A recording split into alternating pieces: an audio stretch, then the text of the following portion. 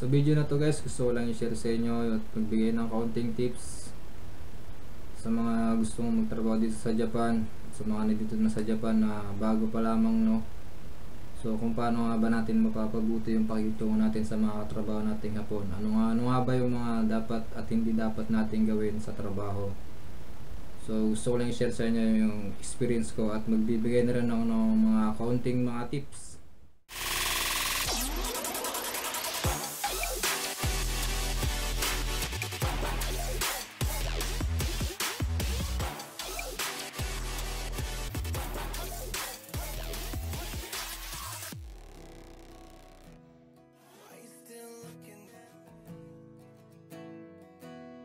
So guys, una-una sa lahat, no, importante yung greetings sa ano mga katrabaho natin no pagpapasok tayo ng ano pag kahit masalubong natin sila ano kailangan mag-greet pa rin tayo no?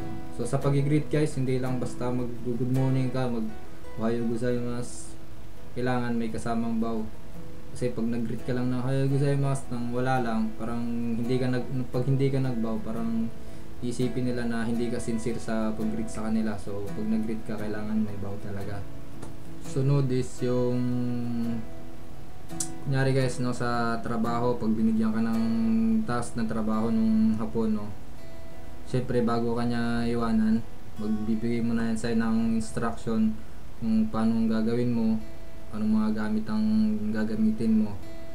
So habang nag explain yung hapon guys so guys tandaan nyo yung karamihan sa mga hapon hindi talaga marunong mag English kailangan makinig ka ng makinig kang mabuti, intindi mong mabuti yung sinasabi ni sinasabi ng Hapon. Yun yung madalas na nagiging problema kasi pag nag-instruct yung Hapon, hindi naintindihan. Pero sa una sa una naman, syempre yung mga Hapon Sa una naman, kasi alam nila na bago ka, sila yung mag-adjust Siyempre yung Nihongo nila mag-adjust sila sa Nihongo nila, mapababaw lang yung gagamitin nila, ganun yan. Pero katagalan guys, lalo na mga nakaisang taong ka na, dalawang taong ka na. So, yung, minsan, yung Nihongo nila, hindi mo na rin talaga naintindihan eh. So, kailangan guys talaga mag-aral ka ng mag-aral ng Nihongo. Napaka-importante ng Nihongo. Yan yung, yan yung susi mo dito para makapag, makapag-communicate ka sa kanila ng maayos. Yung kasi halos karamihan sa kanila talaga hindi marunong mag-English. So yun guys no, sa pag instruct kailangan makinig ka. At ito pa guys no, tandaan nyo, sa pag ini-instructan kayo at hindi nyo naintindihan yung sinabi nila, wag na wag kang mag-hike. Hike kasi ibig sabihin, yes, yes, yes. Parang ganun, naintindihan. Pag sinabi sa'yo na wakarimas ka, pag sinabi mo, hi, wakarimas ta, pag gumanon ka, ibig sabihin, naintindihan mo. Alam nung hapon, naintindihan mo. Pero pag hindi mo naintindihan, pwede mo namang sabihin na sumimasen, wakarimasen. Mo ichido onegaishimasu. Gumanon ka na lang. Para ulitin niya ng ulitin niya ng isang beses pa. Babagalan niya yung pag explain para maintindihan mo. Huwag na huwag kang mag-hike pag hindi mo naintindihan kasi once na nag-hike ka, Ibig sabihin, naintindihan mo, iiwanan ka na niyan. Iwanan ka niya, magtatrabaho, magtatrabaho ka na. Pag hindi mo naintindihan yung sinabi niya at mali yung ginawa mo, doon nagagalit yung mga po. Madalas din nagagalit yung mga po. Pag hindi mo naintindihan yung instruction sa'yo, tapos nag-hike ka, doon madalas nagagalit yung mga po guys. So yun yung dapat yung dapat nating iwasan no Huwag na wag kang huwag mong sasabihin hike pag hindi mo naman naintindihan yung sinabi. Kasi diyan madalas nagagalit yung mga hapon. Ako naranasan ko yung ganyan. Naintindihan ko ng naintindihan ko siguro mga 50% naintindihan ko. 50% hindi ko naintindihan pero nag-hike pa rin ako. Nung iniwanan na, na nung iniwanan na ako, tapos ginawa ko na yung pinagawa niya. Nung bumalik, medyo hindi maganda yung pagkakagawa. So, sinabi niya sa akin, nakala ko ba naintindihan mo? Hindi mo pala naintindihan. Hike ka ng hike, hindi mo pala naintindihan. So, doon madalas nagagalit yung mga puno guys. So, iwasan natin yung ganun. Hanggat maaari, pag hindi natin naintindihan, paulit natin sa kanila. Kasi sila naman ang mag-adjust niyan eh, lalo't pagbago ka pa. Pero pag matagal-tagal ka na, syempre, kailangan na rin na ikaw yung mag-adjust sa kanila. Kailangan talaga, mag-aral ka ng Nihongo. Tandaan mo yung sinasabi nila, intindihin mo yung sinasabi nila, at saka, syempre, araw-araw mo na rin ginagawa yung trabaho. Posible naman na hindi mo ma ma-memorize yung ano yung daily routine na ano sa trabaho no so napaka-importante talaga ng Nihongo guys kaya pag nag-aaral kayo ng Nihongo huwag niyong babaliwalayin kasi ako nung nag-aaral ako petics ako nung nag-aaral ako eh. Kaya nung pagdating dito ah grabe talaga struggle. Tapos pag may hindi ka naintindihan wag, kang, wag na wag kang mahihiyang magtanong sa kanila pag may hindi ka naintindihan at pag may hindi ka alam. Lalong lalo na guys sa mga gamit. Gamit sa trabaho yung mga terminology sa trabaho pag hindi mo alam tanungin mo sa kanila. Mas maganda guys may ano mag take down notes ka no ako lagi ako may malit na notebook sa ano sa bulsa ng uniform ko pag may bago akong narinig na salita na ano sinusulat ko yan tapos pag, umu- pag uwi ko minimemorize ko tinatandaan ko para sa susunod na banggitin mabanggit yung ganung salita alam mo na yung ibig sabihin. Ah, ito pa pala no guys, minsan kasi yung mga hapon, mahilig yan sa mga ano, pagkatapos ng trabaho, minsan nag-aaya yung mga yan, nag-aaya ng lalabas, kakain sa labas, magiinuman sa labas, ganun. So, hanggat maaari, wag kang ano no, wag kang tatanggi kasi yun yung way nila no para makilala ka nila ng gusto kung anong ugali meron ka. Para pinaka-chance mo na rin yun para makilala rin sila kung paano sila sa labas makitungo at sa loob no guys so guys sa paano yung mga hapon guys very professional sila mag, mag ano sa trabaho pagdating sa trabaho. Pag trabaho talaga trabaho guys walang personalan. Pag sa loob trabaho. Pag nasa labas kayo tropa tropa kayo mga ganun. Hindi hindi uso sa kanila yung Ngari may galit ka sa isang tao tapos pag sa trabaho dala-dala mo yung galit mo sa isang tao hindi ganun yung mga hapon guys very professional sila. So isa yun sa mga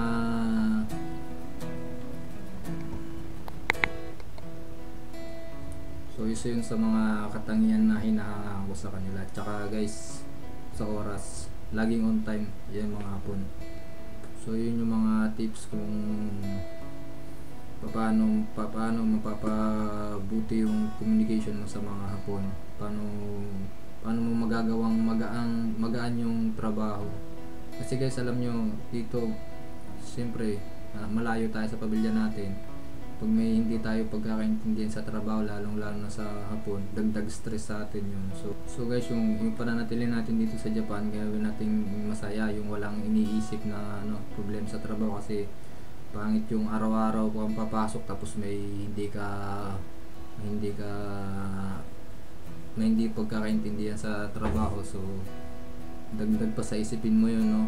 So guys kailangan nating iwasan yung mga ganong bagay para naman maging masaya yung pag stay natin dito sa Japan kasi yun ano yung pinunta natin dito para magtrabaho di ba so bangit yung nagtatrabaho ka na may kasama ka ng loob Tapos guys, yung, yung sinabi ko nga no, yung Nihongo, napaka-importante talaga ng Nihongo. Kailangan hanggat maaari, magbasa-basa ka pa rin. Manood ka sa ano sa YouTube, maraming mga ano doon, mga Nihongo lessons. Pwede kang manood doon para madagdagan yung nalalaman mo. At saka guys, para hindi maging boring yung pagtatrabaho mo, siyempre, trabaho ka lang ng trabaho. Pag break time, kailangan mo rin ano, magkakwentuhan. Para hindi ka naman nababagot ng ano. Pag break time, nandun ka lang sa isang sulok. So, mas maganda may bonding kayo din ng mga hapon.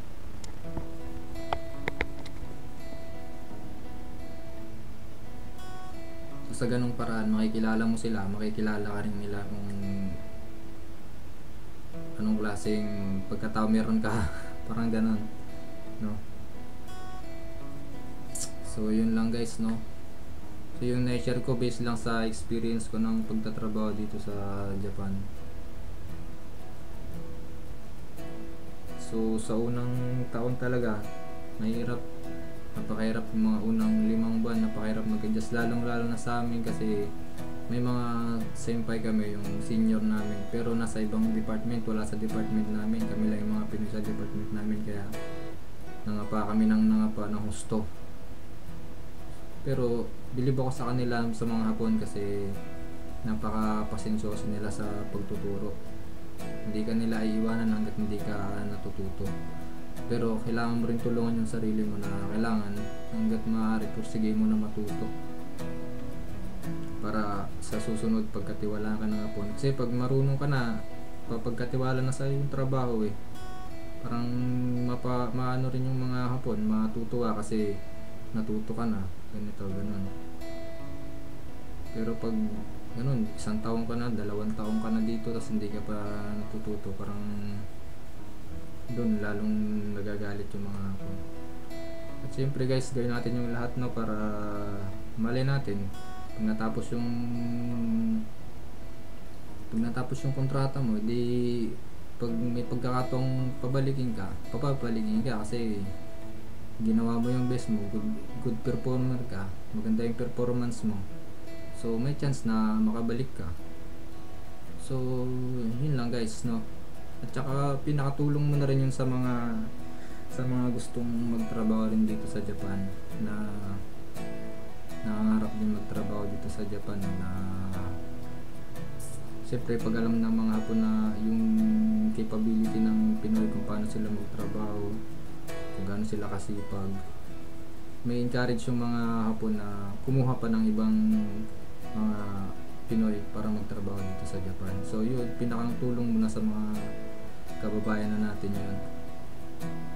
So yun lang guys no? Yun lang yung may share ko sa inyo. So good luck good luck sa inyong lahat sa atin no? Sana may survive natin yung pag-destinate dito sa Japan ng masaya at walang iniintinding problema sa trabaho. So hanggang dito na lang guys yung aking video no? Hanggang sa ulitin. So salamat sa paglala ng oras. At sa mga susunod ko pang video no so magbibigay pa ako ng mga tips sa inyo yung mga experience dito sa Japan.